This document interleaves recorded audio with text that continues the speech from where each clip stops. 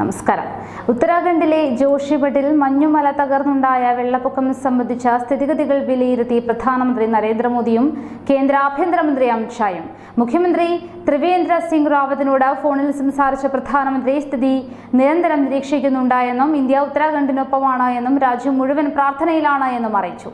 അസം ബംഗാൾ സന്ദർശനത്തിലാണ് പ്രധാനമന്ത്രി കരസേനയും വ്യോമസേനയും രക്ഷാപ്രവർത്തനത്തിന് രംഗത്തെത്തി.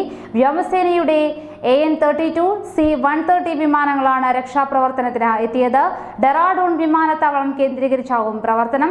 ദുരന്തം നേരിടുന്നതിന് കേന്ദ്ര സർക്കാരിന്റെ പൂർണ പിന്തുണയുണ്ടാകുമെന്ന് ആഭ്യന്തരമന്ത്രി അമിത്ഷാ മുഖ്യമന്ത്രിയെ അറിയിച്ചു. ഇപ്പോൾ രക്ഷാപ്രവർത്തനം നടത്തുന്ന ദുരന്ത നിവാരണ സേനയെ കൂടാതെ അധികമായി നാല് സംഘത്തെ കൂടി അതായത് ഇരുന്നൂറ് പേരെ കൂടി ഡൽഹിയിൽ നിന്ന് ഉത്തരാഖണ്ഡിലേക്ക് അയച്ചതായി അമിത്ഷാ ട്വിറ്ററിൽ അറിയിച്ചു.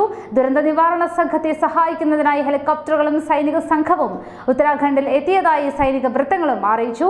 കരസേന ആസ്ഥാനം സ്ഥിതി നിരീക്ഷിച്ചു വരികയാണെന്നും അവർ വ്യക്തമാക്കി. നന്ദാദേവി മഞ്ഞുമലയുടെ ഒരു ഭാഗം തകർന്നുണ്ടായ ദുരന്തത്തിൽ നൂറ് മുതൽ നൂറ്റി എൺപത് പേർ വരെ മരിച്ചിരിക്കാം എന്നാണ് chief secretary O M Prakash അറിയിച്ചതായി വാർത്താ ഏജൻസിയായ എ എൻ ഐ. റിപ്പോർട്ട് ചെയ്യുന്നത്. ഋഷിഗംഗ ജലവൈദ്യുത പദ്ധതിയുടെ നിർമ്മാണ പ്രവർത്തനങ്ങളിൽ ഏർപ്പെട്ടിരുന്ന തൊഴിലാളികളാണ് അപകടത്തിൽപ്പെട്ടത് എന്നാണ് കരുതുന്നത്. ഗംഗാനദിയുടെ തീരപ്രദേശത്ത് കർശന ജാഗ്രത നൽകുന്ന നൽകിയതായി ഉത്തർപ്രദേശ് സർക്കാർ അറിയിച്ചു. നദിയിലെ ജലനിരപ്പ് ഇരുപത്തിനാല് മണിക്കൂറും നിരീക്ഷിക്കുമെന്നും ഇവർ പറഞ്ഞു. വ്യോമസേനയുടെ സഹായവും രക്ഷാപ്രവർത്തനത്തിനുണ്ട്. M I seventeen Dhruv helicopter എന്നിവ അടക്കമുള്ളവയാണ് രക്ഷാപ്രവർത്തനത്തിനായുള്ളത്. ഇവയെ ഡെറാഡൂണിലെ സ്റ്റേഷനിൽ നിന്നാണ് എത്തിച്ചത്. കൂടുതൽ ഹെലികോപ്റ്ററുകൾ എത്തിക്കും എന്ന് വ്യോമസേനാധികൃതർ പറഞ്ഞു. അതേസമയം പ്രളയം അളകനന്ദയുടെ പടിവാതിൽക്കൽ എത്തിയെന്ന് ത്രിവേന്ദ്ര റാവത്ത് വ്യക്തമാക്കി. എന്നാൽ നാശനഷ്ടങ്ങൾ ഉണ്ടായതായി റിപ്പോർട്ട് ലഭിച്ചിട്ടില്ല. പ്രധാനമന്ത്രിയും ആഭ്യന്തരമന്ത്രിയും വിളിച്ചിരുന്നുവെന്നും റാവത്ത് പറഞ്ഞു.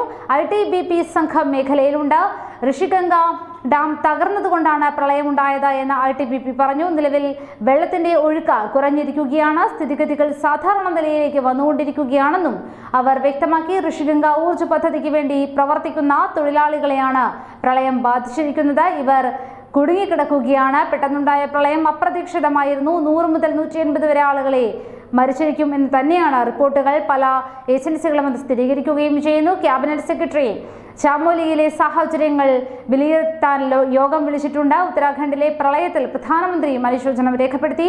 ഇന്ത്യൻ സൈന്യം രക്ഷാപ്രവർത്തനത്തിന്റെ മുൻനിരയിൽ തന്നെയുണ്ട്. സംസ്ഥാന സർക്കാരിനെയും ദുരന്ത നിവാരണ അതോറിറ്റിയെയും സഹായിക്കാൻ വ്യോമസേനയും സൈനികരും സജ്ജമാണ്. കൂടുതൽ പ്രശ്നങ്ങൾ ഉണ്ടാകില്ല എന്നാണ് വിലയിരുത്തൽ. പെട്ടെന്നുണ്ടായ പ്രളയം അപ്രതീക്ഷിതമായിരുന്നു. ഏതായാലും കനത്ത നാശനഷ്ടങ്ങൾ തന്നെയാണ് ഉണ്ടായിരിക്കുന്നത്. എല്ലാ സഹായവും ഒരുക്കുമെന്ന് തന്നെയാണ് പ്രധാനമന്ത്രിയും ആഭ്യന്തരമന്ത്രിയും വ്യക്തമാക്കുന്നത്. ഇതിന്റെ അടിസ്ഥാനത്തിൽ തന്നെയാണ് സൈനികരെ ഉൾപ്പെടെ രക്ഷാപ്രവർത്തനത്തിന് നിയോഗിച്ചിരിക്കുന്നത്. ഇന്ന് രാവിലെ പത്ത് മണിയോടെയായിരുന്നു ഈ സംഭവം. ഏതാണ്ട് നൂറ്റൻപതോളം പേർ മരിച്ചു എന്ന് തന്നെയാണ് വിലയിരുത്തൽ. എന്നാൽ ഔദ്യോഗികമായ ഒരു സ്ഥിരീകരണം ഇനിയും ലഭിച്ചിട്ടില്ല.